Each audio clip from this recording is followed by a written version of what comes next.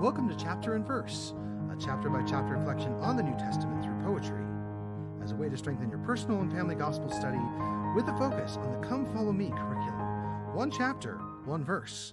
My name is Michael D. Young, and today we have a text based on Colossians 2. The focus verses for this text are Colossians 2, 2, and 3.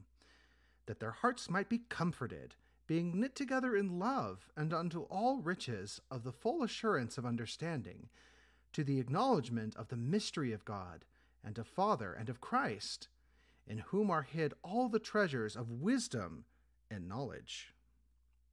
And now the text. I would collect these treasures now all mortal wealth, all fine attire, all titles given to my name, shall pass away in holy fire, for all shall kneel and bow the same before the Saviour's wounded feet, my mortal path to him complete.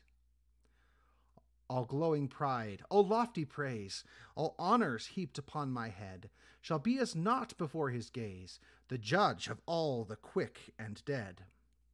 All earthly things I shall lay down, and take instead a robe and crown.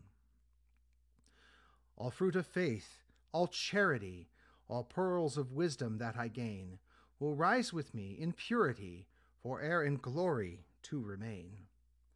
With Jesus' hands to show me how, I would collect these treasures now. Thank you for listening. If you like what you hear, please share.